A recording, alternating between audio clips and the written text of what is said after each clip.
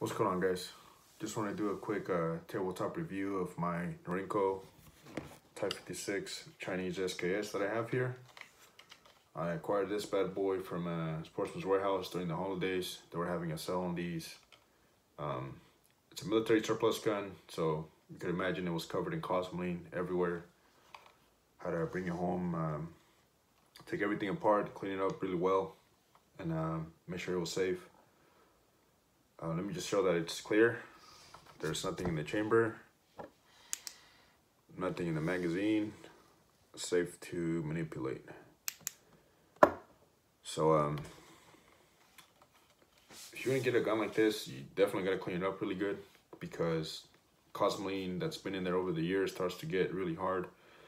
And if there's any cosmoline in um, the bolt where the firing pin rides on these things, um, you could potentially have a slam fire when you load around in here. It'll, you know, the firing pin will be stuck in the forward position. So when you release the bolt, it'll smack the back of the primer.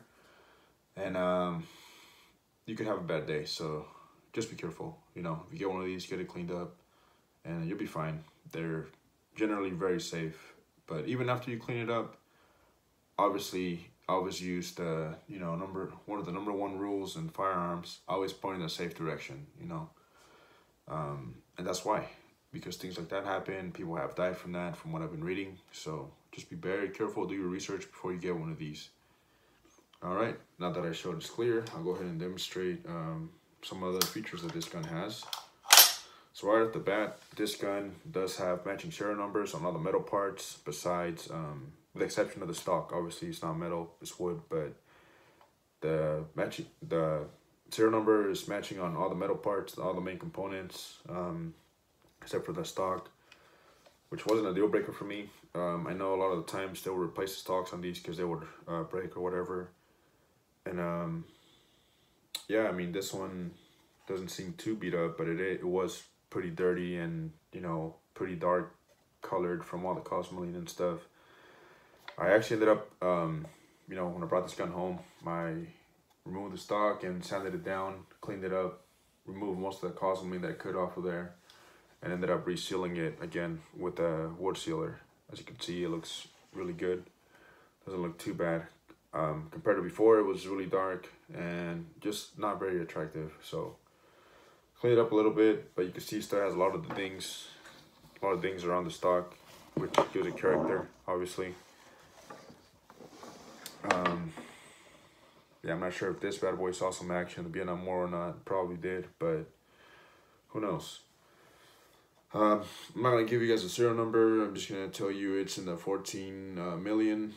Um, it has the stamp over here for the you know factory number 26 in China. So this is the real deal right here, guys. This is a military surplus gun right here. I know when they started importing SKSs into the States, um, most of them, you know, were from, you know, military surplus guns. But they did make some uh, SKSs later on, you know, and uh, started importing them into the States. And they were like the sporting SKSs. Some of them were um, magazine fed and whatnot. But this bad boy right here is definitely a uh, surplus gun for sure. And uh, yeah, it's... Uh, this thing's a piece of history for sure. Uh, obviously, if you know the history behind the SKS, you know that the Russians created this. Mr. Uh, Sergei uh, Simon Simonov or whatever his name was. Um, he knew what he was doing when he was, um, you know, creating this gun here back in the day. Um, towards the end of the war, you know, some Russian troops actually used SKSs against German troops. Um, when they were testing it, uh, a few years later, the AK-47 came out, and these things were rendered obsolete.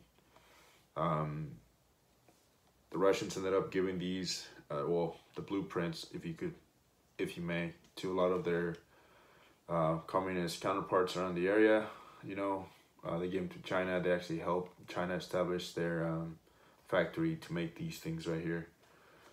So um, that's how a lot of these ended up going to other countries, you know. I believe Yugoslavia has their own SKS, um, Russia, obviously, the originals, and the Chinese. I'm sure there's SKS is elsewhere. I just can't really think at the top of my head um, what other countries use these guns. they still use these guns in Europe a lot in a lot of ceremonies and stuff. You know, their color guard details or whatever, they use these still.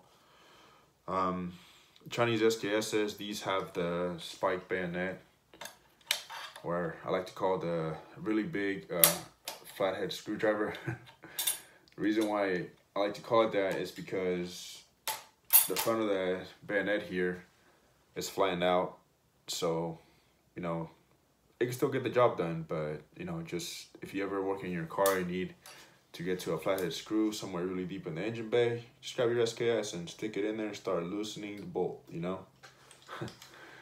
just a joke, obviously, but yep, it's pretty much what it is with these. They have the spike bayonet. Uh, some of the European SKSs, like, you know, from Russia or Yugoslavia or those countries, they have the blade bayonet. I believe in China, that when, when they first started producing them, they also had a blade bayonet, but these um, well this one here has the spike they went from the blade bayonet to the spike bayonet later on later on in the years um yeah i mean this is a it's a really simple concept honestly um it's a gas it's gas operated you know obviously it shoots around the gases come up here in the gas tube push the piston rod back and then it hits the piston extension here which works the action back you know magazine pushes another round up, loads it into the chamber, you know, fires, pretty much how this thing works. Um, they're fairly easy to take apart and uh, clean up. Pretty much you just remove this pin here, the dust cover comes off. We don't really remove it because it has a little notch in there that gets it stuck in there so you won't lose it. Uh, you pull it out and this top part just comes off. The recoil spring comes off, the bolt group comes out and uh, yeah, it's good to uh, field strip that way. But if you want to take it further and clean it, like when you first get these, if it's a surplus gun, you're definitely gonna have to take it down more than just field regular field strip because, um, again, like I mentioned, these things have a lot of cosmoline in. You really need to get the, the cosmoline out of the firing pin uh, channel and clean up the firing pin, clean up every piece of cosmoline that you can out of the action in order for these things to be safe, you know. Um, but yeah, it's, uh, it's pretty simple. You know, after you move all those parts that I mentioned, um, you want to come down here, the trigger assembly, you hit the little uh, takedown notch right here with a pin. It's really hard, but you know, just watch a video on how to take it apart. You pretty much just put it down on its back like this, grab a punch, you know, and then just press that and this will come off. The magazine will slide out and then you can slide your receiver off the stock. Um, and then, you know, to remove the gas, the gas tube over here, you switch this little lever here in the up position this way, and then you're able to pull out your gas tube, your piston comes out, and to remove the piston extension in under the sides here. Same deal, you gotta manipulate that lever a certain way, and then um, make sure you have your finger ready to catch that um, piston extension because it is loaded under spring tension and will shoot out if you don't catch it. Um, very easy to use, you know, very easy to clean. So, you know, it's definitely a plus for these. I really like the safety on these things. Uh, it's right there. You can see it. Again, this gun's unloaded, so just go ahead and demonstrate. This in the safe position now. So when it's, you know, on, on you can't fire it. So, you know, I'm, again, I'm not going to press the trigger, even though I already made sure it's safe, just for the purpose, sole purpose of this video. But pretty much, you know, you push the safety down and then you're able to fire it. So pretty much how that guy works. Um, pretty much when the action comes forward, uh, there's a notch here in the receiver where the bolt locks into. You know, it's pretty solid lockup and then, you know, you're able to fire it and whatnot. There's many ways of loading an SKS. Um, my preferred way is with a stripper clip. You pretty much have the action open, throw the stripper clip in there, push the rounds in, move the stripper clip, run that bolt forward and it's good to go. Um, you can get really quick with that actually if you really practice with these. It's really easy once you get more practice in. Um, or, you know, you could load it by hand um, from the top, throw it in there, but my preferred method for having this gun in the house, you know, because I would use this for home defense if I needed to, because I know it's gonna work. My preferred way to keep this in the house, the way to, load it to keep it in the house ready to use is I open up the magazine, put it on its back, and I load the rounds in here with the bolt close, and that will pretty much allow you to have a loaded magazine without a loaded firearm, pretty much without having a round loaded in the chamber. That's what I'm trying to get at. Um, obviously, you know, you want to be safe with these, you know, keep it in a, in a safe somewhere where, you know, a kid can't get to it or whatever. Um, but you know, I don't need to tell you that. If you're a gun owner, you should already know those rules. So yeah, there's there's those are the three main ways to load these. You know, with a stripper clip, you load it from the bottom, you load it from the top. You know, manually, you can do it.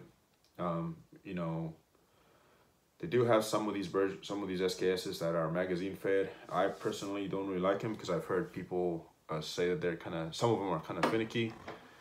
Um, plus, if you live in a banned state, you know, like me in California, you know, this actually uh, qualifies for an approved firearm, you know, in these states because they don't have the evil features. It's like a pretty much like a hunting style rifle, if you may. But um, I mean, this is a this is a weapon of war, so you could technically use this for home defense all day long and be perfectly fine if you practice with it. Um, you can use it to hunt, you know, if you have property or whatever, you know, very good ranch gun to have. Um, 762 by 39. This guy right here is the AK, same as the AK round. This was, I believe, one of the first guns ever made to use that round right there. Um, as you know, 762 by 39 is no joke. It'll put any two or four-legged, you know, predator down, no problem. Um, it's a good round, you know, definitely. Um, the sights, the rear sight here is a ramp style sight. Obviously, uh, it has different uh, marks here for from 100 to 1,000 meters. Obviously, with a 762 by 39, you'll really be pushing it uh, to get out to 1,000 meters with this. Um, I'm sure you can maybe if you really practice, but when they created the SKS, um, they did a lot of research, you know, for sure. Um, and they realized a lot of the, you know, conflicts between troops were within two to 300 meters. So they needed a intermediate cartridge uh, gun and that's when they came up with this one right here. Um, yeah, you know, these, uh, these SKSs, uh, when they came out, again, you know, they did see some action war, towards the end of World War II. The Russian troops uh, were using these towards the end. They did, you know, to test them out and uh, from there, you know, they became obsolete after the K-47 came out and whatnot, and that's when the Russians started uh, passing over the blueprints of these guns to their communist uh, counterparts around the world. So, yeah, um, this gun's in pretty good shape uh, for the most part after I restored it. Uh, one thing about these uh, guns, you want to make sure you look into the barrel when you're before you buy one because I've heard people buy some of these at and they say that they hardly have any rifling left. So it's almost like a smooth bore gun, almost like a shotgun, pretty much smooth bore. Uh, you don't want that. You'll really be having shitty accuracy. So make sure you check that. Um, make sure for you know check for part major um, you know, damage in the major components, you know, make sure there's no cracks anywhere or anything. But for the most part, you know, these things, if they've been in a crate with Cosmoline, they'll be fine, you know. But just something to look at, you know. Um, front sight here, uh, pretty easy to use. Um, some of these, you know, you could use the, um, you could adjust the windage on this one and ele elevation. So you have a tool to push this, the side assembly here from side to side or you come up from the top and turn it to go up or down. You know very simple easy to use. Um, a lot of times you don't really have to. Uh, you might end up having to adjust the elevation on this uh, front post here. But other than that you know right at the box I mean these things have probably already been adjusted but this one is kind of sideways so I need to adjust it a little bit but yeah very easy to use um, if you can come across if you come across a gun like this, pick it up if you can, because these things are only going up in price, and you know they only made so many of them, and when they're gone, they're gone. You're gonna be paying a pretty price to get one of these. So um, yeah, Thanks for watching, guys. Here it is. One last look.